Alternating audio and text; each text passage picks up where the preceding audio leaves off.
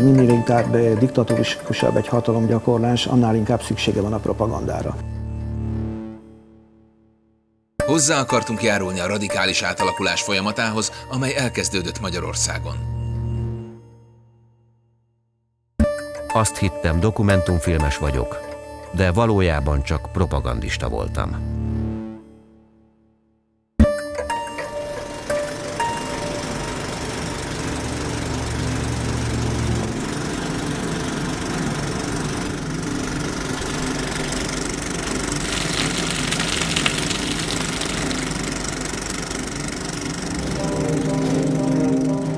1945-ben Magyarországon is véget ért a sok borzalmat hozó második világháború. Amint elhallgattak a fegyverek, újra elindult az élet. A túlélők újult erővel kezdték eltakarítani a romokat, új pártok alakultak, szabad választásokat tartottak. Sokakban élt a hit, hogy egy demokratikus, szabad és független országot teremthetnek. A remény helyét azonban hamarosan átvette a rettegés valamennyien, akik itt voltunk, túléltünk valamit. Egy svung volt az országban. A nagyhatalmak döntése szerint az ország a Szovjetunió érdekszférájába került. A szovjet kommunisták teljhatalmú és retteget diktátora Stálin hamar világossá tette, hogy Magyarországon is ő lesz élet és halál ura. A demokratikus pártokat felszámolták. Aki ellenállt, elüldözték vagy kivégezték, miközben hatalmas propagandagépezet dolgozott azon, hogy elfogadtassák az új vezért, Stálint, és budapesti helytartóját, a magyar kommunisták vezetőjét, Rákosi. Minél inkább diktatórikusabb egy hatalomgyakorlás, annál inkább szüksége van a propagandára. Én sok mindent elhittem a propagandának, nem csak én, mások is. Részint azért, mert szerettünk volna hinni kész arzenáljuk volt arra, hogy a propaganda rendszerét hogyan kell átalakítani. Tapasztalták ezt a sztálini Szovjetunió mintájából is, és hát tudták azt, hogy Lenin nyomán milyen óriási jelentőséget kell tulajdonítani a közvélemény meggyőzésének. Zúgott a taps a nagygyűléseken. A gyárakban a szabad népből olvastak fel. Sztálin és Rákosi transzparensei díszítették az utcákat. A propagandagépezet egyik legfontosabb eleme a film lett. Lenin bácsi megmondta, hogy a legjobb agitációs eszköz a film. A film azért lett olyan fontos, mert ezzel az egyre népszerűbb médiummal sokkal könnyebb volt eljutni nagyobb tömegekhez, és a mozgóképpel hatékonyabban lehetett manipulálni az embereket. Amikor 1945-ben a filmgyártó vállalatokat és az ország moziait felosztották egymás között a pártok, a legnagyobb mozi hálózatot és a legkorszerűbb filmhíradót a szovjetek parancsára a magyarországi kommunisták kapták. Itt próbálták összegyűjteni a legjobb szakembereket és a leglelkesebb fiatalokat. Voltak éppen, aki a filmszakmában dolgozott, az ezen a híradón mind keresztül ment, többé vagy kevésbé, kicsit vagy nagyon. Ott egy nagyon komoly jó stáb alakult ki. Nem kizárólag filmes érdekek mozgattak bennünket. Hozzá akartunk járulni a radikális átalakulás folyamatához, amely elkezdődött Magyarországon. Lehetett akkor érezni, hogy ebből egy diktatúra lesz? Igen. 47-ben is Igen, hogy 47-ben már abszolút. De szerintem már 46-ban is. Szemlátomást évről évre, ahogy a fordulat éve felé halad a filmszakma is, kiszorultak a szaktekintélyek a filmgyártásból. A filmgyártás átalakításának egyik vezetője Bot Béla volt, akit a nézők később Bástya elvtársként ismerhettek meg a Tanú című filmből.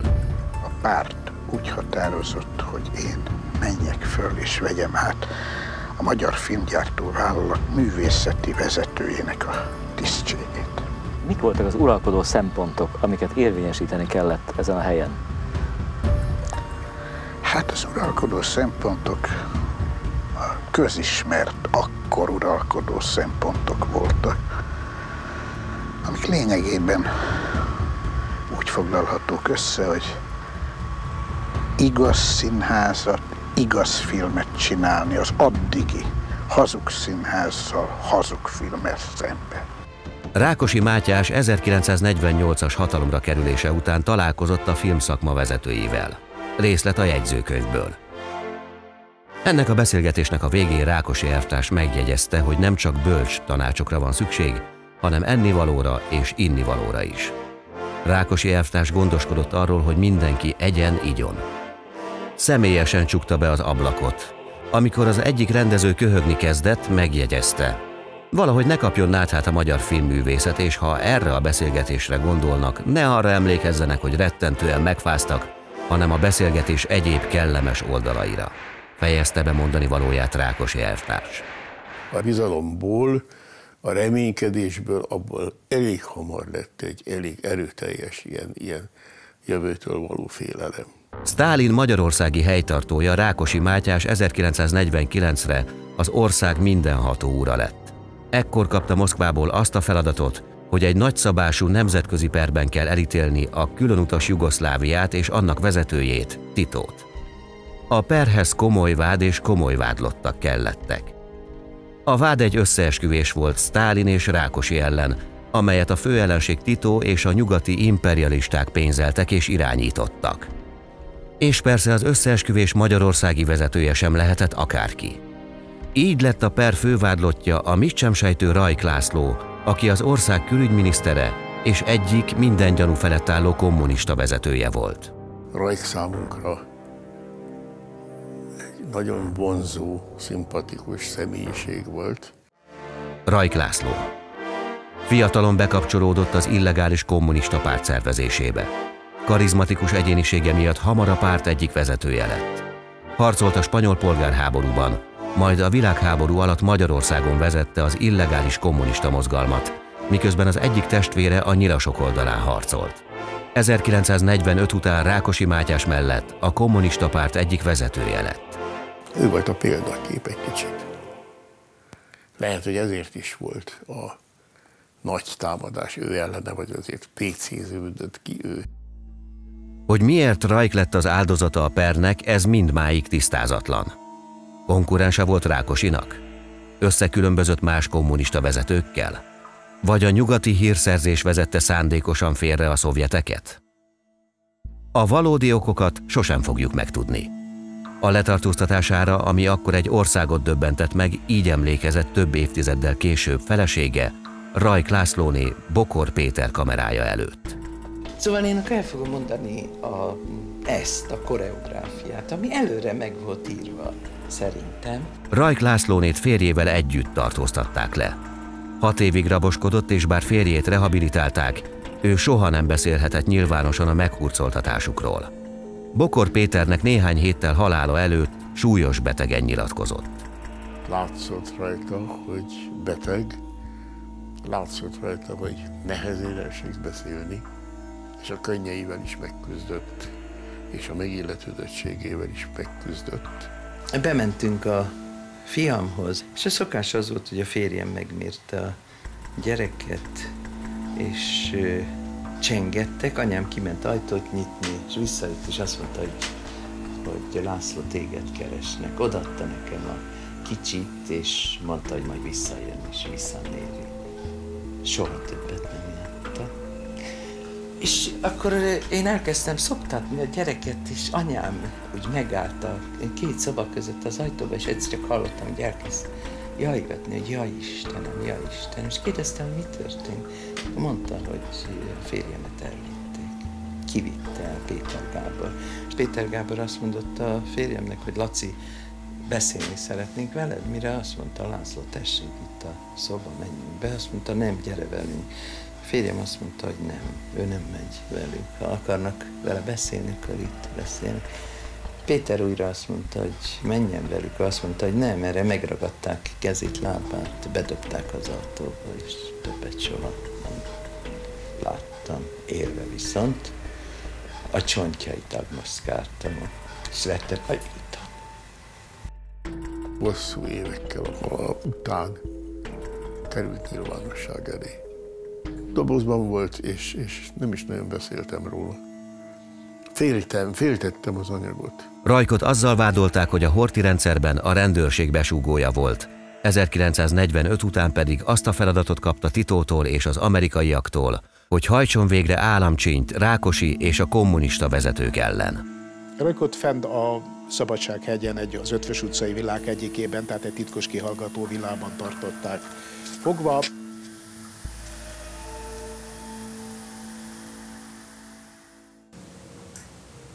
Van valami mondani valód? Az a mondani valóm, hogy szeretném tudni, hogy mi az álláspont, mert... Neked van valami mondani valót számunkra? Rajk nem teszi meg a megfelelő vallomásokat, majd azt kéri, hogy a pártvezetővel szeretne találkozni. Így következik be június 7-én este, amikor a párt két főtitkár helyettese Kádár és Farkas Mihály meghallgatja őt. Mi azért jöttünk ide, hogy módot adjunk neked életedben utoljára a pártal beszélhess. Kevés idő van a te részedre, ezt vett tekintetbe, és most mondd el, mit akarsz. Rajk kihallgatásait, talán hogy Rákosi is hallja volt minisztere megalázását, magnóra rögzítették.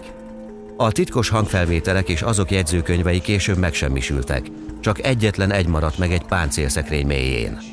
Pont az, amelyen Kádár hallgatja ki egykori barátját és minisztertársát.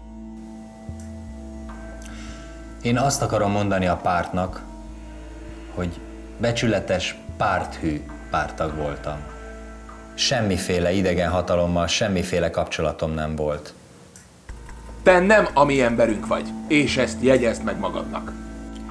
Én kérlek titeket, hogy...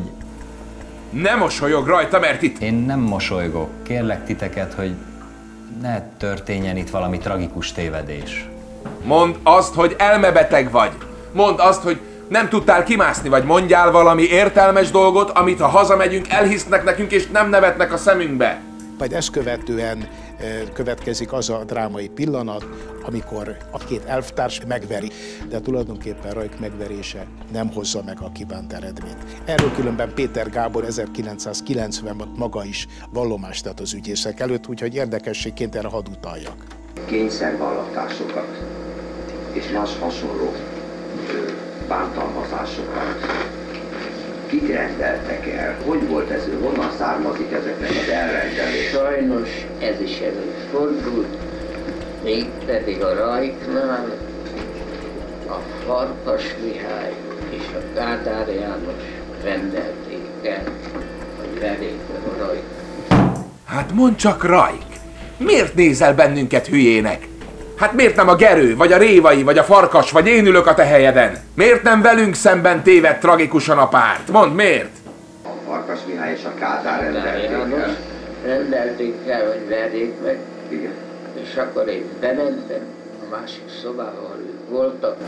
Te ettől a pillanattól kezdve nem vagy kommunista, nem vagy tagja a kommunista pártnak, és ezt a szót, hogy elvtárs ne használd többet, mert ahányszor használni fogod, meglátod, hogy mi lesz. Ez az egyik. A másik.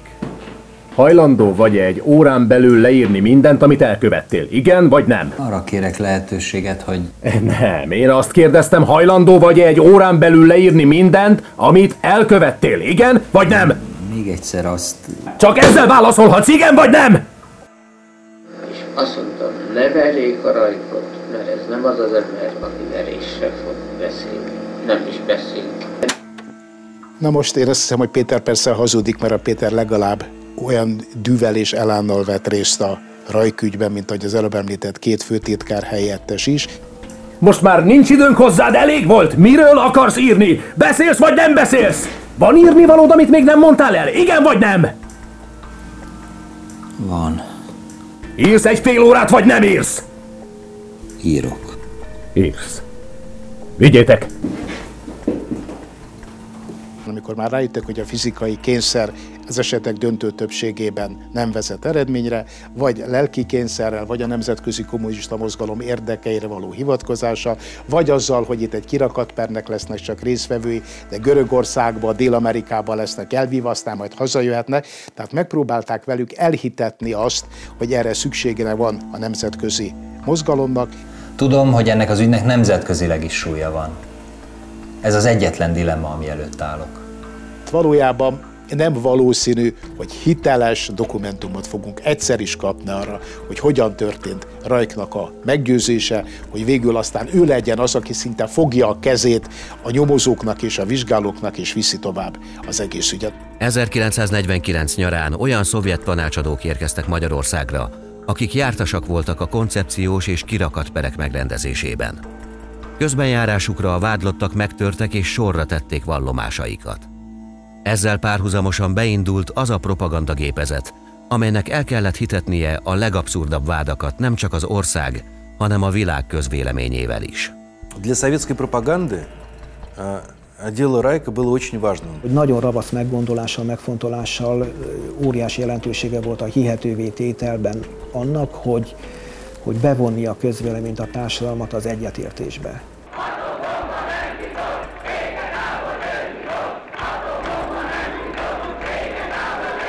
A letartóztatás követően annyi nagy értekezetet tartanak a fővárosban, ahol már tulajdonképpen bekövetkezik az, hogy halált kérnek rajkra és áruló társaira. Még nincsen se vádirat, még nincsen se tárgyalás, még nincsen se ítélet, amikor már a közvélemény ezt követeli. Az imperialisták tolnokai, rádió bemondói azt mondják, itt mi nálunk, a népi demokráciákban a bomlás jelei mutatkoznak.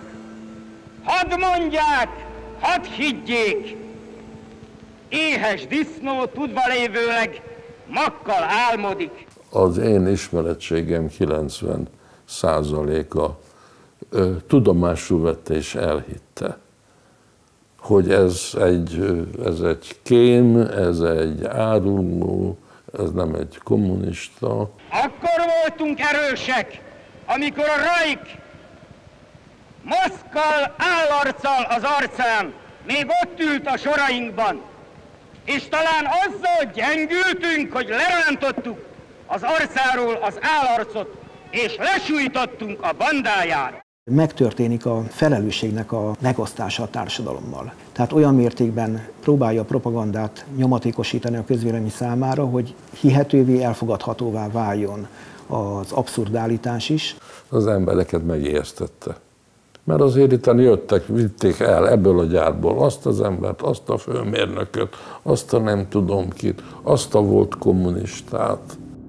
Rákosi élete nagy lehetőségének tartotta ezt a pert, ahol ha sikerül hitelesen bebizonyítania, hogy Rajkot Tito és az amerikaiak pénzelték, akkor feljebb léphet a kommunista vezetők ranglétráján, és nagyobb nemzetközi elismertséget kaphat. Nem véletlen, hogy ide hozták a pert. És akkor itt más per nem is volt? Nem, kizárólag ezt az egy pert hozták ide. Ezt régebben úgy is hívták, hogy a munkások temploma. A Rajper idején hány ember volt itt tanár? Kb. 300. És kik lehettek itt? Vagy? Csak és kizárólag előre összeállított közönség volt, megnézték zömében munkások, parasztok, olyanok, akiket arra alkalmasnak talált a belügyminisztérium államvédelmi hatósága. A Magyar Rádió szinte élőben követte az eseményeket. Jó Budapest! Kedves hallgatóink, folytatjuk helyszíni közvetítésünket a Reichsberg főtárgyalásáról. Naponta kétszer adott a Kossuth Rádió közvetítést. A nagyvilág számára több tucat nemzetközi tudósító közvetítette a pert. September 16, 1949, Friday, 9 p.m. Recordings of Reich trial. És az újságírók, mert a képet... Újságírókat eleve megvan, hat, meghatározták, hogy kik lehetnek itt.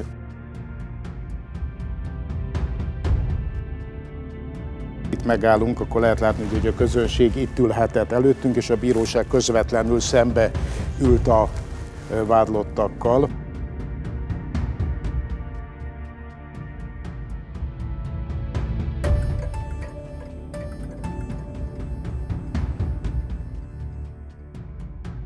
Hol ültek a vádlottak? A vádlottak az első sorban ültek, közöttük egy-egy büntetés végrehajtás ruhájába felöltöztetett államvédelmi is ült.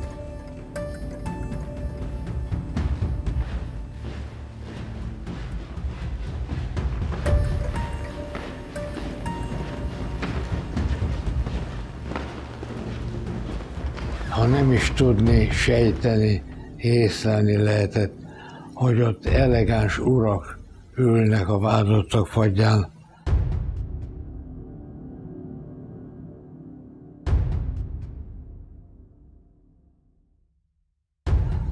ezeknek rendkívüli eleganciával is, ma úgy mondanánk úri módon nem úgy bánnak velük, mint vádottak.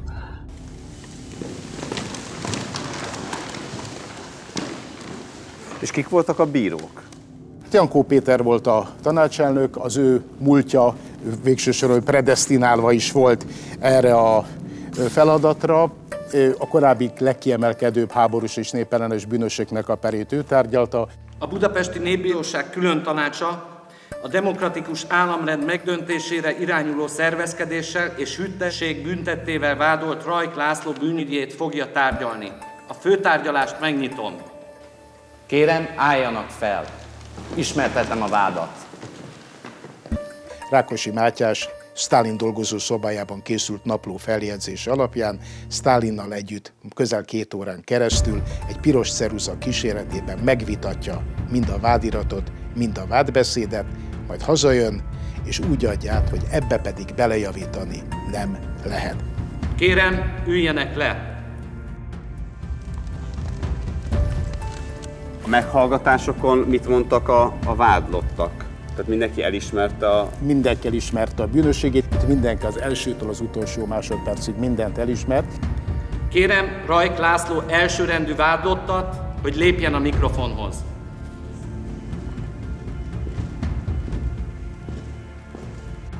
És ezek az urak folyékonyan beszélnek, és egyszer csak elkezdik mondani, nem szó szerinti, csak tartalmi idézet ez részemről, hogy kémek voltak, besúgók voltak, árulók voltak. Tehát csupa olyan merőben kemény valószínűtlenség, amelyről sejteni lehetett, hogy ez nem valós. Megértette a vádakat? Igen. Bűnösségét elismeri? Igen. Az egész vonalon? Az egész vonalon. Térjen tehát részleteiben az esemény sorozatra. 1930-ban tértem vissza Franciaországból. Teljesen elhűlve, elbambulva hallgattuk, ahogy mondanak különböző vádakat, és ahogy erre ez a Rajk László, akit mi azelőtt nagyon nagyra becsültünk, körülbelül olyan tónusban válaszol, hogy mint hogyha azt mondaná, hogy kérem, én nem csak loptam, hanem, hanem még gyilkoltam is. A feladat az volt Magyarországra vonatkozólag. Magyarországon meg kell dönteni a népi demokratikus kormányzati rendszer, természetesen a népi demokratikus kormányzat tagjait le kell tartóztatni. Rákosi a szobájában hallgatta élőben a Rajpernek a tárgyalását. Ha az órájára pillantott és látta, hogy már csúszik a tárgyalás, elhúzódik, akkor utasítani tudta a bírót arra, hogy délután háromig fejezzék be az aznapi tárgyalást, különben a másnap reggeli lapokban nem jelenhet meg aznapi tárgyalásnak a szövege. Kik voltak az első rendű ellenfelek? Ezen belül legveszedelmesebbeket, ahogy Rankovics mondotta, végső esetben likvidálni is kell. Kik voltak ezek a személyek? Személy szerint mindenek elő Rákosi, Gerő, Farkasra gondoltuk. A népbíró uraknak van a vádlotthoz kérdésük? Nincs kérdésem. Az ügyész úrnak? Nem kívánok kérdést feltenni. Vádlott, menjen a helyére.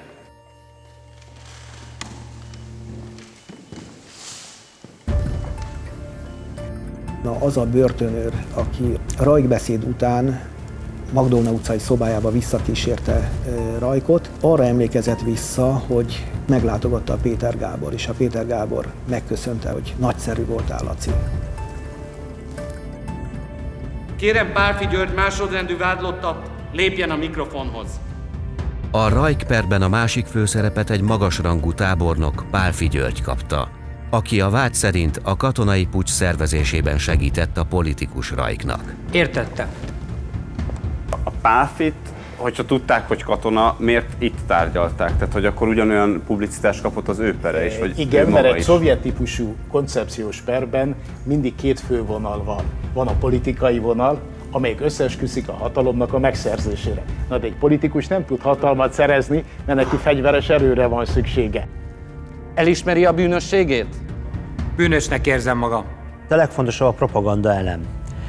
Pálfi nélkül az egész jugoszláv vonal, a koncepciós állítások, azok lógnak a levegőben. Hát Pálfi az, aki az adatokat meg tudja szerezni, amelyeket a koncepció szerint Rajk átad a jugoszlávoknak. Pálfi az, aki meg tud szervezni mondjuk egy titkos találkozót Rajk számára, ahogy azt a koncepció állítja.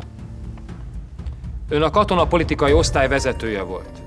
Ennek az osztálynak az a feladata, hogy meggátolja a kémtevékenységet, leleplezze a kémeket. Igaz-e az, hogy ön, mint ennek az osztálynak a vezetője, maga is főkém volt. Igaz. Nincs más kérdésem. Védelem? Nincs. Vádlott, üljön a helyére.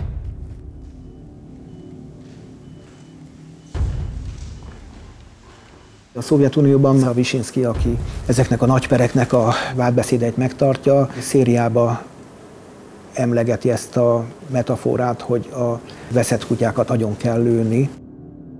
Népünk halált követel az árulókra, és én, mint a válthatóság képviselője, magamévá teszem-e követelést. A kígyó fejét, amely meg akar marni bennünket, szét kell taposni. A veszett kutyákkal szemben a védekezésnek egy módja van. Agyonverni őket. И более того, еще до того, как процесс состоялся в сентябре 1949 года, в августе Ракоши и Сталин на встрече в Москве обсуждали, какой должен быть приговор, приговорить ли к расстрелу или нет. И Сталин тогда еще не, вы, не высказывал убеждения, что непременно надо всех расстрелять. Но уже потом, в сентябре, когда процесс шел, Сталин сказал, что он согласен с Ракоши, действительно надо расстрелять, по той простой причине, что другого приговора трудящиеся не pоймут. És állítólag Rajk végig abban a hitben volt, hogy nem fog vele semmi olyasmi történni, és a vádbeszéd után mondta azt, hogy engem ezek kivégeznek. A Magyar Népköztársaság nevében ítélethirdetés előtt már egy dömping indul el a közvélemény meggyúrására és a halálos ítélet végrehajtásának az elfogadtatására nyugaton és itthon. A Budapesti Népbíróság 1949. szeptemberében tartott nyilvános főtárgyalásán Rajk László és társai bűnügyében meghozta az ítéletet. A Népbíróság külön tanácsa a vádlottakat bűnösnek mondja ki. Ezért a Népbíróság külön tanácsa főbüntetésként Rajk László, Szőnyi Tibor és Szalai András vádlottakat halára ítéli.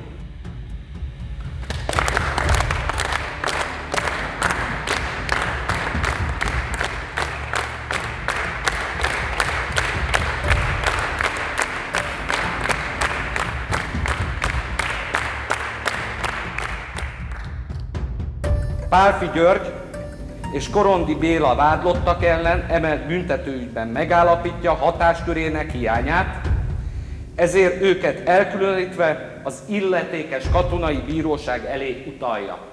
Őket külön katonai bíróság elé állították. Ott én tanácsegyzőként szerepeltem, feladatom nem volt más, mint hogy, hogy azok a jegyzőkönyvek papírra kerüljenek. Amikor ez a per történelemben ismert módon befejeződött, egy nyilvános kivégzésre sor került.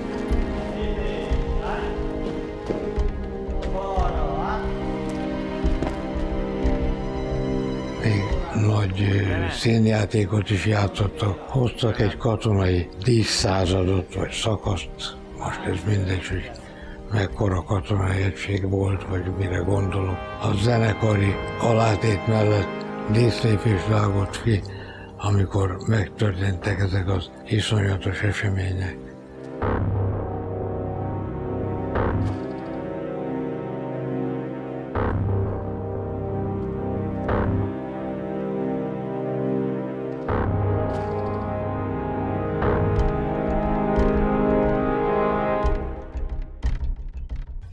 Filmet is készítettek, bizonyára eltüntették, egy másfél órás film volt róla, én magam is láttam, hát kivezényeltek bennünket az akkori Városi Színházba, a mostani Erkel Színházba ennek a megtekintésére. Beszéltél aki látta a filmet? Én a lát, többekkel beszéltem, azt mondják, hogy elrettentő volt Kornis Páltól kezdve, tehát akik, ő például a katonapolitikának volt a pártitkára, tehát ő elég részletesen elmondta, hogy mi volt benne, tehát magát a tárgyalást is felvették. Szó szerint így fogalmazott, hogy elrémisztő volt, olyanra sikerült. És ezt a magyar hadsereg alakulatainál annak idején levetítették. Magát a, a filmet az indokolja, hogy ez egy nagyon komoly propagandaanyag, amit egyébként a katonáknak kötelező végignézni, hogy megvan-e maga ez az anyag azt nem tudjuk. A Pálfiperről tehát minden készséget kizáróan készült film. De vajon mi történt a Rajkperen? Azt felvették-e? És ha igen, mi lett a felvételekkel? Maradtak-e nyomok valahol? Filmet én nem láttam sem akkor, sem később. Rajkperről. És a pálfék kivégzéséről? Arról se. Pedig állítólag film készült, ez a Vesszenek az Árulók című film. Az lehet. De hát ez, ez nem nyilvános bemutatásra készült, gondolom. Szóval készült ilyesmi, nem egyszer és nem kétszer. Egyszer berendeltek a fő utcára, ahol katonai elhárítás, hogy az Isten tudja milyen szerv működött, és ott zajlott egy per, a figurára jól emlékszem, én ott álltam a felvevőgép mellett. Elmondta, hogy ő katonatiszt volt, kikerült háború végén Ausztriába, ott összekeveredett a mit tudom én, milyen titkos szolgálattal, annak lett az ügynöke, így jött határon átszökve jött haza Magyarországra, és aztán lebukott. Kérdeztem, hogy mi lett az ítélet. Hát mi? Hát ez egy kém volt, hát felkötötték. Igen, de néhány hónap múlva én ezzel az úrral találkoztam Budapesten az utcán, ahol szabadon járt kell. Tehát ezek szerint ez valami színjáték volt, amit én valami valóságos perként vagy miként felvettem. Nagyon tisztességes honoráriumot azt kaptam, alá kellett írnom, hogy kussolok. Azt az operatőrt, aki velem dolgozott, évekkel ezelőtt egyszer megpróbáltam kérdezni tőle, hogy te emlékszel erre az esetre, és nem akart emlékezni rá. Ki az az őrült, aki ezt elmondja? Ha volt ilyen. Az ember nem tudta, hogy mi történnék, hogy én erről beszélnék. Hát aláírtam, hogy nem beszélek róla, és velem sem beszélt senki, nem beszélt. Pedig voltak többen, akikről tudtam, hogy, hogy kaptak ilyenfajta feladatot. Tehát nagyon sok filmes hordoz akkor ilyen emléket. Szerintem igen. Szóval ilyenek vannak, ilyenfajta rejtélyek, de hát ki az Isten tud válaszolni ezekre senki.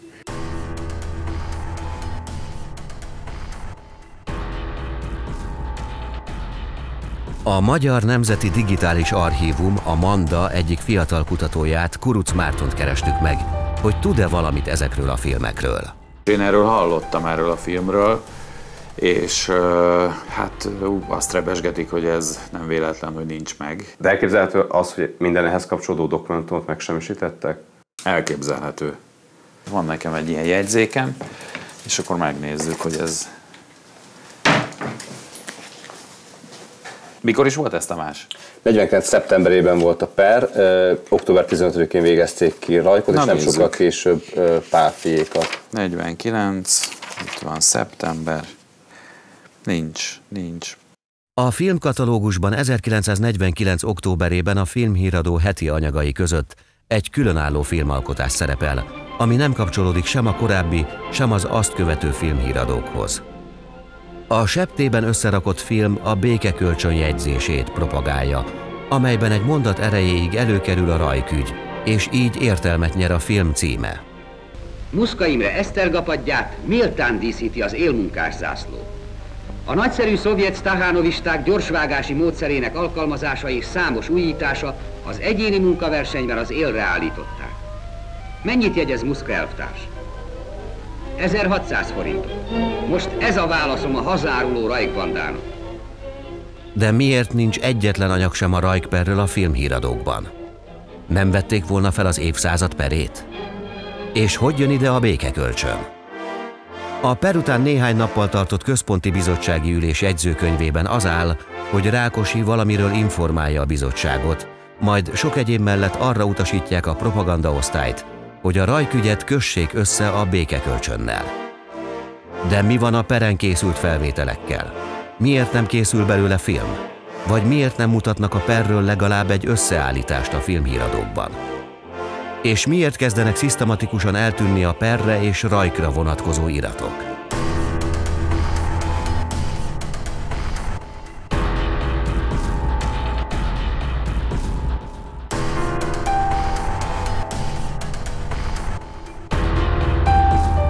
Magáról a perről készült egy komolyabb fotodokumentáció. Hát igen. A per után ezt a report csíkot, tehát a negatívokat a belügyminisztérium bekérte. Nagyon sok negatív nem került vissza magába a, a gyűjteménybe, az archívumba, de valamire ez kellett a belügyminisztériumban.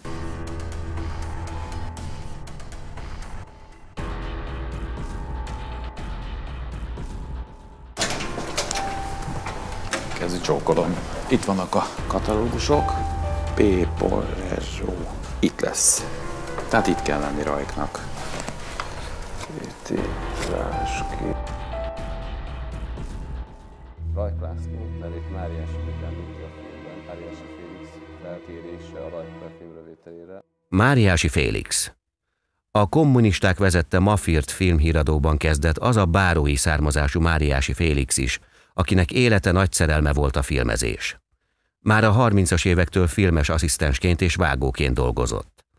A világháború alatt, amíg az egyik testvére a német propaganda filmhíradót szerkesztette, ő a kommunistákhoz csatlakozott.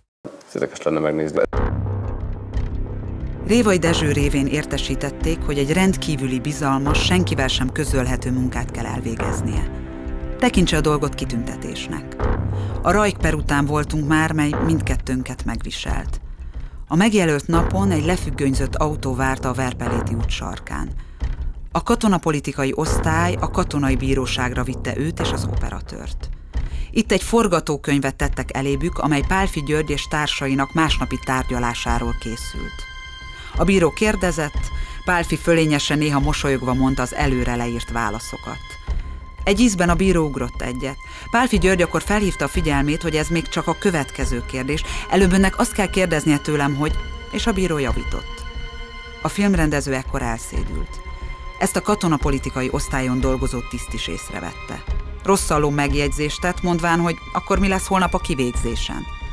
A filmrendező azt dadogta, ő többé nem jön. Úgy tűnik, Máriási Judité az egyetlen visszaemlékezés ezeknek a pereknek a felvételéről. De vajon miért pont a fiatal filmrendező kapta ezt a feladatot? A feleség egy megszállott, hogy mondjam, elvtársnő volt, Mária Judit annak a hálózatnak volt a tagja, amelyiket a Péter Gábor helyettese, Szűcsernő államvédelmi ezredes vezetett, és az a Szűcsernő, aki 1942. februárjától volt a szovjet titkos szolgálatnak a munkatársa. Tehát akkor Máriási Félix ezért lehetett megbízható ember, Abszolút. hiszen a felesége Pontosan. az közvetlenül be volt kötve ahhoz az emberhez, aki a pert úgymond irányította. Aki a per előkészületei, tehát az államvédelmi szakasznak meghatározó figurája volt. Így van. Máriási talán sohasem tudta meg, hogy a felesége révén került, kerülhetett a perbe, mint filmrendező. Az viszont tény, hogy a hányattatott sorsú művész később mind a Rákosi, mind a Kádár rendszer egyik sokat foglalkoztatott rendezője lett, egészen fiatalon, 59 évesen bekövetkezett haláláig. Közben a Magyar Országos Levéltárban egy egészen új, eddig még nem ismert forgatókönyvet találtunk. 1952-ben született jegyzőkönyvek szerint a filmgyár egy komplet forgatókönyvet rendelt és kapott a kor ünnepelt Sztálin díjas írójától, Acél Tamástól. Az író személyéről azt lehet tudni, hogy ő a korszak kultúrpolitikájának egyik prominens figurája volt. Az, hogy egyáltalán elkészült a forgatókönyv, az pedig azt mutatja, hogy a filmgyár ezt hivatalosan megrendelte. A film a Rajk és Pálfi összeesküvés dolgozza fel, ahol az ármánykodó imperialista kémeket egy fiatal honvédtiszt leplezi le. Jobb oldalán feltűnik Rákosi Mátyás. Rákosi Mátyás személyesen beszél a, azzal a fiatal határőr tisztel, aki a főszereplő, és megnyugtatja, hogy rajta vannak az ügyön. A grandiózus filmtervet végül átírta a történelem. Stálin meghalt, Rákosi kissé háttérbe szorult, Tito pedig újra barátja lett a kommunista tábornak. A forgatókönyv örökre az asztalfiókban maradt. Egyetlen nevet tudunk, Bacsó Péter látta. Ő írt hozzá egy kísérőlevelet, amivel a minisztériumba küldte.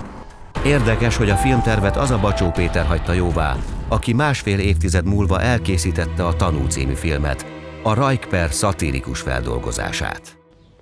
Dr. Kotász! Dr. Kotász! A Rajk Per azért többé-kevésbé a Tanú című filmnek is az egyik ihletője volt. igen, igen. Na de hát azért az, az más a fikció és más a dokumentum. Hát a tanú az az minden, csak nem dokumentum, az fikció, tiszta fikció. Dr. Kotász! Úgy tudom, hogy a Péter ezt megkonzultálta az acéllal magát a témát.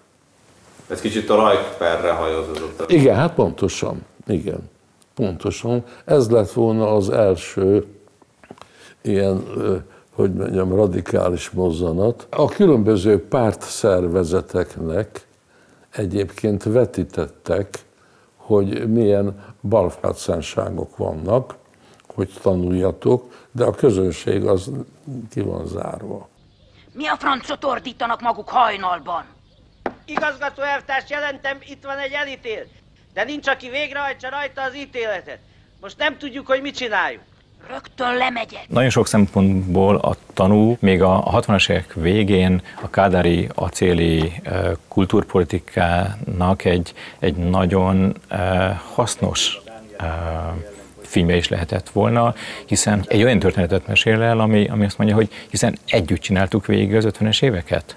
A végén már az 50-es évekből előreugrunk a 60-as évekbe és a jelenbe, és ahogy, ahogy visszatekint erre a korszakra, azzal gyakorlatilag lezárja az 50-es éveket. Pont egy olyan típusú lezáró gesztus, amit, amit maga a, a, a Kádár rendszer is szeretett volna e, sugallani és elérni. A Kádár rendszer megalkotta a maga Rajkper filmjét, még ha a film végén el is hazudták a valóságot. Maga kicsoda? Pelikán József vagyok, bocsánat a zavarásért, engem kellene felakasztani.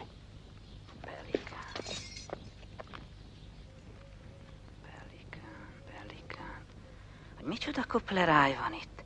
Hát gratulálok, magát rehabilitálni fogják. Inkább tessék akasztani. Az, hogy rehabilitálni fogják, az azt jelenti, hogy maga ártatlan. Na most aztán tényleg siessen haza. A pénzt majd megkapja postán. Tessék mondani, Dániel Zoltánnal mi van? Dániel Ő már egy hete otthon van.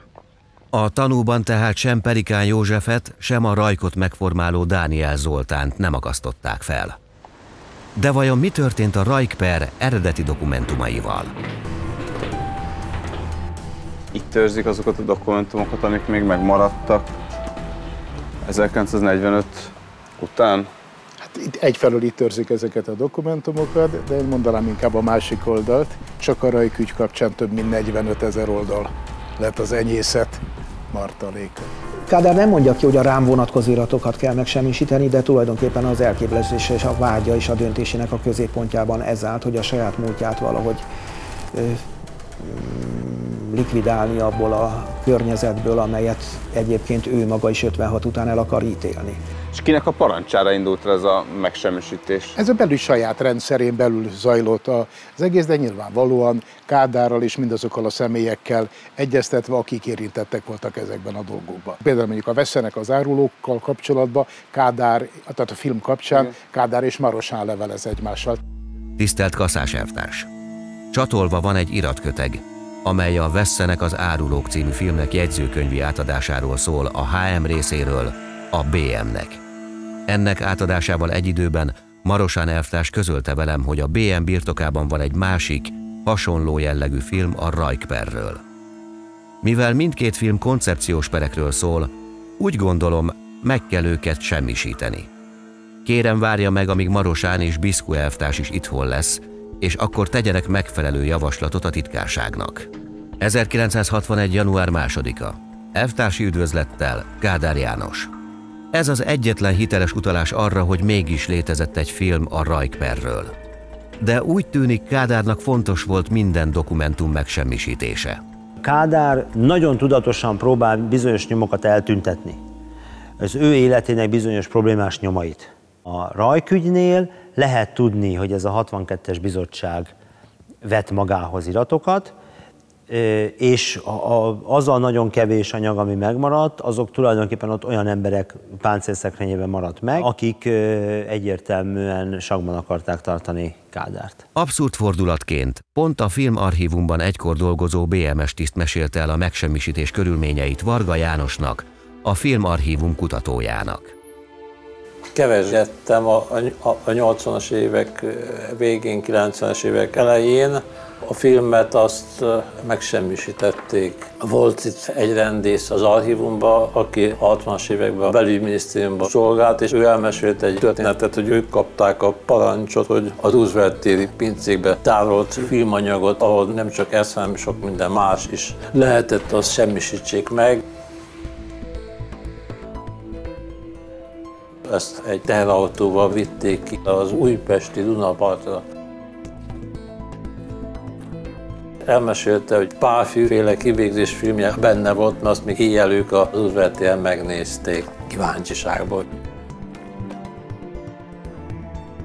Minden kópiáját megsemmisítették ennek a filmnek? Ezekben a perekben a szovjet szolgálatok erősen érintettek voltak. Egy példányt én szerintem minden felvett anyagból ők kaptak de ez csak az én feltételem is.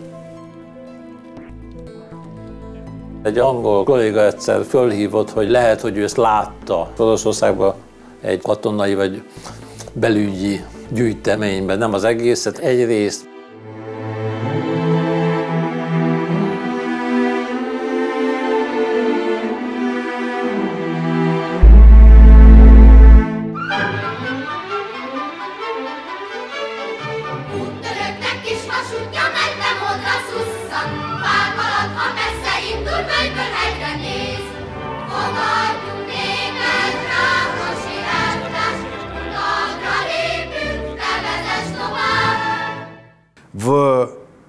сталинское время, в 1937-1938 году, тоже, конечно же, процессы операторами снимались.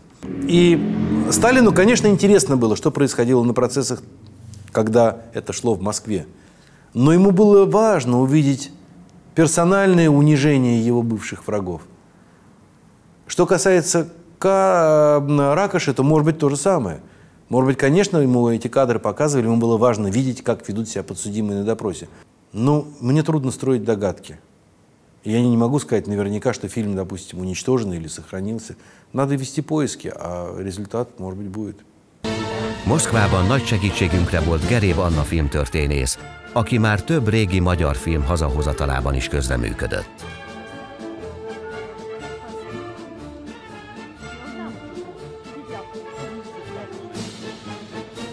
Máriási Félix. Máriási Félix. Фонд архива свыше, вот здесь находится в хранилище, свыше 43 тысяч названий фильмов. В 89-м они работали несколько лет у нас. BBC. Э, Приехала BBC. Это первая была иностранная компания, которая попала к нам в архив. До этого иностранцев практически не было всегда был, э, были, знаете, в ограниченном доступе было такое вот свойство написано, в ограниченном доступе. По процессам вот этим троцкистским там, да, были. Но я хочу сказать, что они выдавались только специалистам.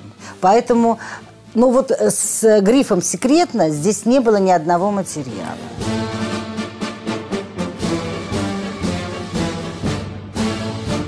Есть, конечно, вероятность, что этот фильм э, мог сохраниться э, в архивах бывшего КГБ, а ныне ФСБ. Но, к сожалению, я не могу точно сказать, потому что никаких описаний, э, скажем, никакой коллекции фильмов, кроме как учебные фильмы для госбезопасности, по-моему, нам, вот когда я был в комиссии Верховного Совета, который занимался архивами, нам не предъявляли.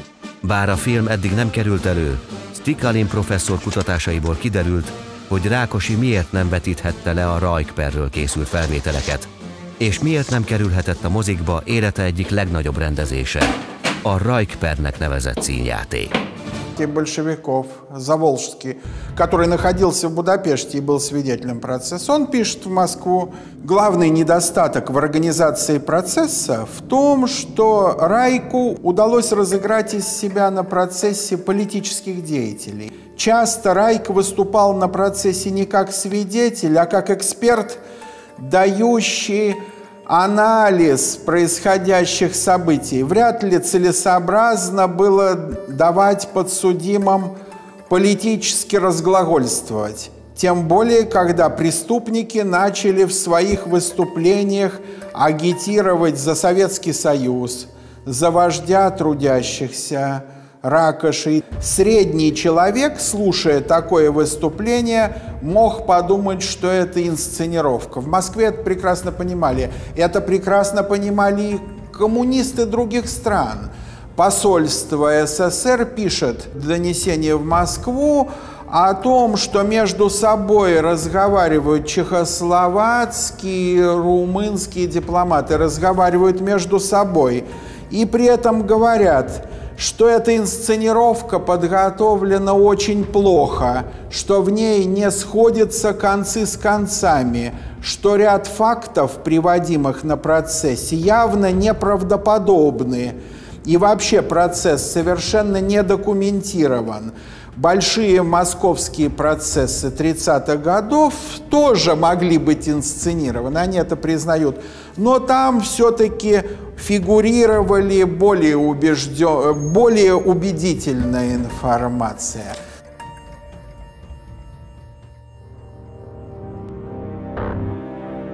Egyelőre nem sikerült az eredeti kópiák nyomára bukkannunk. de bízunk benne, hogy a megsemmisítők nem tudtak alapos munkát végezni.